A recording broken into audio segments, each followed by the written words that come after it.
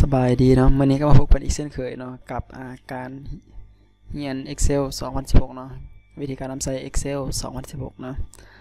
าสำหรับบทเรียนในจะเรียนวันนี้ก็จะเป็นบทเรียนเกี่ยวกับาการนำใส่ worksheet เนาะ worksheet ที่เราหุ้นกันเนาะก็คือหนึ่ง worksheet เนาะก็จะมีหลายๆอ่าคือเนาะหลายๆตาตารางเนาะหลายๆหน้าเนาะประกอบเป็นหนึ่ง worksheet พวกนี้นี่คือนะเป็นตาตารางเป็นเซลล์เนาะกับมันจะมีหนึ่ง worksheet นี้ คืออันนี้เป็น worksheet นะจะประกอบโดยมีหลายเซลล์หลายตารางหลายหน้าแล้ววันนี้หลายๆ worksheet รวมเข้ากันนะคืออันจะเป็น workbook ก็คือไฟล์ที่เปิดยินนี่เนาะไฟล์แต่ถึงนี้ซื้อไฟล์นี่คืออันเป็น workbook เนาะสำหรับ worksheet ก็จะมีหลายๆคืออันนี้จะเป็นชีตหนึ่งชีตสองชีตสามโดยปกติแล้วเนาะเวลาเราเปิดอคอมขึ้นมาเนาะเปิดขึ้นมาใหม่ มันก็จะมีอ่าคืออะไร เริ่มนับลำดับจาก worksheet ที่หนึ่งเนาะประมาณนี้เนาะสำหรับ worksheet เนาะมีข้อดีในใดก็คือ มันจะมีการจัดเก็บข้อมูลอย่างต่างๆเนาะอยู่ใน worksheet คือเนาะสามารถแยกลำดับความสำคัญเนาะหรือว่าแยกหมวดหมู่ของการเฮ็ดเวียกตาม worksheet ได้เนาะสำหรับ worksheet นี่สำหรับ worksheet นะตัวอย่างอันนี้คือเราหนึ่ง worksheet นะสมมติว่าเราต้องการเฮ็ดเวียกใน worksheet ที่หนึ่งนะคลิกเลือกเนาะ หรือต้องการเฮ็ดเกเกี่ยวกับ worksheet ที่สองก็คลิกเลือกกับ worksheet สองประมาณนี้ worksheet สอง worksheet ที่สามอ่าเราก็สามารถเลือกอ่าการเปลี่ยนแปลงข้อมูลพวกนี้เนาะถ้าต้องการเลือก worksheet ใดต้องการที่ไปเกี่ยวกับ worksheet ตัวใดเนาะเราก็สามารถคลิกเลือกได้เลยเนาะอันนี้ก็คือวิธีการคลิกเลือก worksheet แบบพื้นฐานเนาะก็คือเราใช้เมาส์คลิกเลือกตามที่เราต้องการเลยเนาะworksheet ประมาณนี้หรืออีกแบบหนึ่งเนาะถ้าเราไม่อยากใช้เมาส์เนาะ อีกวิธีหนึ่งคือเราอยากใช้เมาส์คลิกเลือกแบบนี้เราก็สามารถใช้คีย์บอร์ดได้นาะตัวอย่างเรามาอยู่ใน worksheet ที่3เราต้องการจะกลับไป worksheet ที่2เราก็สามารถกดอ่า Control ค้างไว้เนาะแล้วกดอ่า Page Up มันก็จะเลื่อนเป็นชีตสองเนาะถ้าต้องการเลื่อนไปทางอ่าขวามือเนาะก็กด Page Down เนาะกด Control ค้างไว้ แล้วก็เลื่อน Page Down อ่าประมาณนี้เนาะถ้าต้องการเลื่อนไปซ้ายมือก็กดอ่า Control ค้างไว้แล้วก็ Page Up ประมาณนี้เนาะกด Control ในคีย์บอร์ด โอเค อันนี้ก็จะเป็นวิธีคือวิธีการเลือก worksheet เนาะอ่าวันนี้เรามาเบิ่งวิธีการเปลี่ยนชื่อของ worksheet เนาะสมมติว่าเราใช้งานเนาะสมมติอันนี้เป็นรายการเดิมๆเนาะอ่าแล้วเราอยากใส่ชื่อรายการเข้ามาเนาะต้องการเปลี่ยนชื่อง่ายๆนะวิธีการเปลี่ยนก็คือนิดนึงเลยกด Control ค้างไว้เนาะแล้วคลิกเลือก worksheet ปุ๊บ double click เนาะอ่าประมาณนี้หรือว่ากด double click เลยก็ได้เนาะไม่จำเป็นต้องกด Control แล้วเราต้องการเปลี่ยนชื่อเนาะอ่าแล้วก็สังเกตเบิ่งเนาะเวลาเราเลือกปุ๊บมันจะมีเงาเนาะเป็นสีเทาตัวนี้เนาะโอเคแล้วก็สามารถเปลี่ยนชื่อได้อ่าตัวอย่างจะใส่แบบรายการน้ำเดิมเนาะใส่เป็นรายการอ่าน้ำเดิมประมาณนี้เนาะโอเคหลังจากเขียนแล้วเนาะแล้วก็กด enter อ่าเท่านี้เนาะก็สามารถเปลี่ยนชื่อ worksheet ได้แล้วเนาะ อ่าอันนี้คือวิธีการเปลี่ยน worksheet วิธีที่หนึ่ง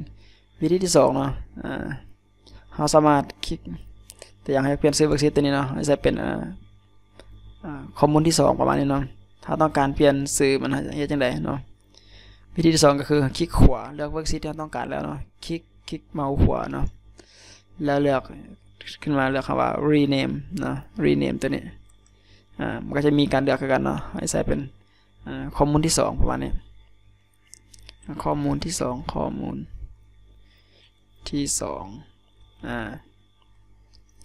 เขาก็สามารถเปลี่ยนชื่อได้เนาะสำหรับอันนี้คือจะเป็นวิธีการเปลี่ยนชื่อ worksheet เนาะอ่ามาเบิ่งอ่าตัวที่หัวข้อที่สามเนาะการลบ worksheet เนาะอ่าการลบ worksheet นี่สำคัญหลายเนาะสมมติว่าเขาต้องการลบตัวนี้นี่เนาะ worksheet ที่สามเนี่ย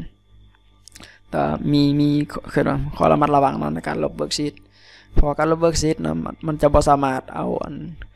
ชีตที่เราลบเอานี่คืนได้เนาะคือสมมติว่าเราลบไปแล้วเราก็บ่สามารถใช้คำสั่ง undo พวกนี้ขึ้นมาได้เนาะคำสั่ง undo ที่แท็บทางด้านทางซ้ายมือนี้เนาะหรือว่ากด Ctrl Z อยู่คีย์บอร์ดก็เอาขึ้นมาบ่ได้เนาะสำหรับการลบ worksheet เนาะถ้าสมมติว่า worksheet เขามีข้อมูลลักษณะนี้นะสมมติว่าอันนี้เป็นข้อมูลสำคัญเราลงลบไปแล้วเราจะบ่สามารถ undo ขึ้นมาได้ เพราะว่าที่สำคัญเนาะ worksheet ของมันจะมีหลายหลายเซลล์เนาะ แล้วก็มีหลายข้อมูลหลายตาตารางอย่างนี้เนาะหลายหน้า การลบ worksheet นี่ก็ระมัดระวังนะคือตัวอย่างกรณีนี้ต้องการลบคลิกขวาแล้วกด delete เนาะถ้าต้องการลบเลยก็กด delete นะถ้าไม่ต้องการก็กด cancel ไปกรณีนี้ไม่ได้ลบนะแต่ว่าสมมติเราต้องการลบจริงๆเนาะกดลบปุ๊บ delete เลยโอเคกด delete ทีนึงอ่าสังเกตว่ามันจะหายเนาะ CT 3 จะหาย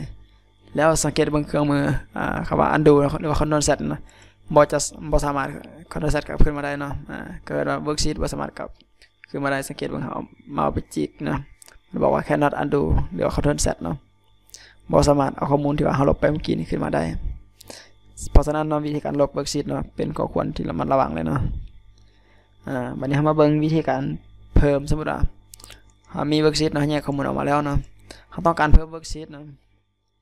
เขาเช่นอย่างไรวิธีการเพิ่ม worksheet ก็จะมีอยู่ 3 วิธีนะ3วิธีนำกันโอเควิธีหนึ่งก็คือกดเครื่องหมายบวกเนาะอยู่นี่นี่มันจะบอกว่าเป็น new sheet เนาะกดเครื่องหมายบวกอยู่แท็บเปิงขวามือเนาะกดเพิ่มปุ๊บอ่ามันจะเพิ่มคือว่าสังเกตดูดีๆนะมันจะเพิ่มจากชีตที่เราเลือกอยู่นะสมมติว่าเราเลือกชีตเดิมๆปุ๊บเรากดเพิ่มไปเพิ่มถัดมาจากชีตเดิมๆเนาะ หรือเราเลือกชีตที่เป็นข้อมูลที่ 2 กดเพิ่มปุ๊บมันก็จะเพิ่มมาจากข้อมูลที่ 2 ก็คืออันนี้มันจะเพิ่มจากเห็นไหมซ้ายไปหาขวามือนะประมาณนี้เนาะตอนเลือกชีตแต่มันก็จะเพิ่มต่อจากชีตนั้นเลยเนาะโอเคเดี๋ยวลบไปก่อน สังเกตวิธีการเพิ่มชีตนะอันนี้วิธีที่1วิธีที่2คลิกขวาคลิกขวาใส่แท็บข้อมูลนะที่เราต้องการเพิ่มชีตเนาะเลือกคำว่า insert อันนี้คือวิธีที่2 insert ปุ๊บสำหรับวิธีการ insert เนาะออยู่ใน Excel 2016เนาะมันจะมานำเลยเนาะเกิดมันจะมีอันนี้คือถ้าคลิกกับตันพิดเนาะจะเป็น insert worksheet เนาะกด insert worksheet กดโอเคไปเลย แล้วอยู่ใน Excel 2016มันสามารถเพิ่มได้หลายเนาะมันจะมีเพิ่มชาร์ตเนาะอยู่ในเป็นซีทใหม่เลยเนาะเพิ่มชาร์ตเพิ่มอ่า MS Excel พวก macro เนาะ macro แล้วก็จะมี dialog เนาะมีหลายๆอย่างเลยสามารถเพิ่มเซลล์ตัวอื่นเนาะเพิ่มอันไฟล์ workbook ตัวอื่นเข้ามาก็ได้เนาะแต่สำหรับการเพิ่ม workbook อย่างต่างๆเนาะจะเอาเป็นวิดีโอถัดไปเนาะสำหรับวันนี้จะแนะนำสำหรับเป็นการเพิ่ม worksheet กดโอเคปุ๊บ worksheet ก็จะเพิ่มขึ้นมาเนาะเมื่อกี้เลือกน้ำดื่มบ่จะเพิ่มเป็น worksheet ขึ้นมาอีก worksheet หนึ่งส่วนวิธีที่3นะวิธีการเพิ่ม worksheet ตัวอย่างเขาเลือก ข้อมูลที่2นะวิธี3ก็คือเรากดอ่า shift นะกด shift อยู่ที่คีย์บอร์ดบวกกับ F11 นะปึ๊บโอเคสังเกตเนาะมันจะเพิ่มขึ้นมา แต่ว่าวิธีนี้ก็คือสมมติเราเลือก F11 นะตอนนี้เราเอา shift 11นะกด shift แล้วกด F11 ปึ๊บมันจะเพิ่มจากขวามือไปทางซ้ายมือเนาะเห็นป่ะ shift 11จะอยู่นี่ shift 12จะมาทางนี้อ่า สำหรับวิธีการเพิ่มชีตเนาะก็จะมีประมาณนี้เนาะเดี๋ยวอนุญาตลบกันละกันอืมโอเค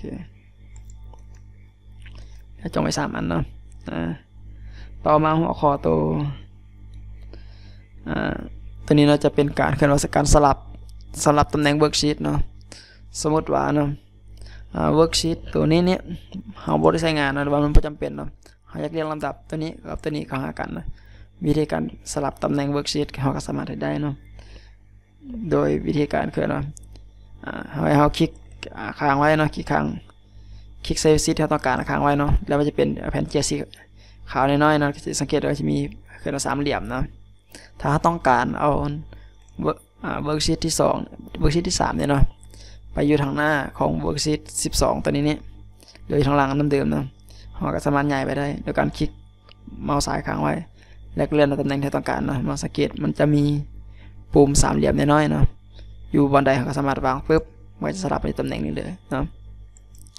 หรือว่าต้องการไปไปทางหน้าก็สามารถไปได้เนาะอ่าเป็นปุ่มเหลี่ยมปุ่มสามเหลี่ยมสีดำน้อยๆเนี่ยสลับตำแหน่งกันได้มันก็คือเป็นการย้าย worksheet เนาะเพื่อเรียงลำดับความสำคัญของข้อมูลที่เราต้องการย้ายประมาณนี้เนาะอ่าสำหรับหัวข้อสุดท้ายที่จะนำเสนอวันนี้เนาะก็จะมีก็การเปลี่ยนสีเปลี่ยนสี worksheet เนาะ อ่าถ้าสามารถเปลี่ยนสีได้ คือตัวอย่างแท็บน้ำเดิมเนาะเราจะใส่สีอย่างก็คลิกขวาคลิกขวาแล้วเลื่อนขึ้นมาเลือกคำว่าแท็บ color ตัวอย่าง รายการน้ำเดิมเนาะเราจะใส่เป็นแท็บสีเขียวสีฟ้าเนาะ light blue ฟ้าเนี่ยมาก็เปลี่ยนสีแล้วเนาะเป็นสีฟ้าข้อมูลที่สองต้องการเปลี่ยนสีก็เลือกไปได้ตัวอย่างใส่เป็นสีเหลืองอ่านี่ yellow เนาะโอเคแท็บที่สามสิ อยากใส่สีอย่างก็เลือกตามที่เราต้องการเนาะก็คือเราใส่สีมันก็จะเป็นอีกแบบหนึ่งเพิ่มสีสันเนาะสำหรับไฟล์ worksheet ของเราสำหรับการให้เรียกเกี่ยวกับ worksheet ในหัวข้อที่สอนมานี้เนาะก็จะมีประมาณนี้เนาะเดี๋ยวมาทวนคืนเนาะที่เราเรียนไปเมื้อนี้ก็จะมีคืออะการเลือก worksheet เนาะเลือก worksheet ก็จะมีเอามาคลิกเลือกตามนี้เลยเนาะเรียกว่าเราสามารถใส่ปุ่ม page up page down ได้เนาะประมาณนี้อ่า page up page down บวกกับ control เนาะ อย่างหัวข้อที่สองเนาะก็จะเป็นคือว่าการเปลี่ยนชื่อ worksheet ก็เปลี่ยนชื่อ worksheet กับง่ายๆเนาะ double click แบบนี้เลยเปลี่ยนชื่อได้หรืออีกแบบหนึงก็คลิกขวาเนาะแล้วก็ rename อ่าประมาณนี้นี่ก็คือวิธีการเปลี่ยนชื่อ worksheet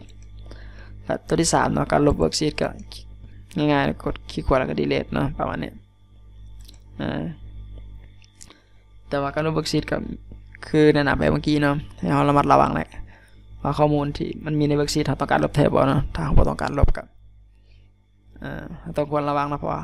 ถ้าลบไปแล้วบ่สามารถ undo ขึ้นมาได้เนาะแล้วก็หัวข้อที่สี่เนาะที่ที่เราเห็นมันนี้ก็จะมีการเพิ่ม worksheet เนาะ worksheet ก็จะมี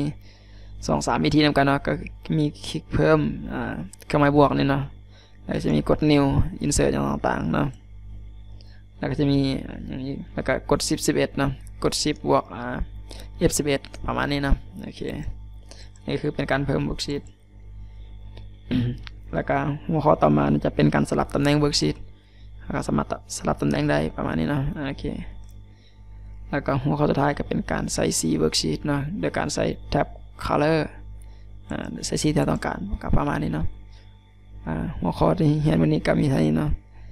ถ้าหากมีประโยชน์ต่อทานมีนะคือนะถ้าเป็นความรู้หรือว่ามีประโยชน์ต่อทานเนาก็สามารถกดไลค์กดแชร์เนาะ หรือว่าถ้าอยากรู้อันใดเกี่ยวกับ Excel เนาะที่ว่าเราบ่ทันได้สอนก็สามารถคอมเมนต์ถามได้ เดี๋ยวมาเช็ดวิดีโอใหม่มาแนะนำให้ทานเนาะสำหรับวิดีโอมื้อนี้ก็มีสำนี้เนาะขอขอบใจ